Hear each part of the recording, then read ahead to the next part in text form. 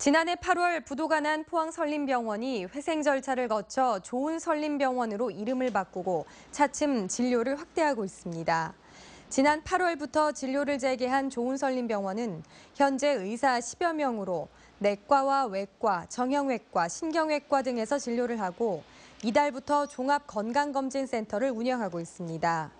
부산의 은성의료재단과 합병된 좋은설림병원은 시설을 보완하고 의료진을 확충해 내년 3월 재개원할 예정입니다.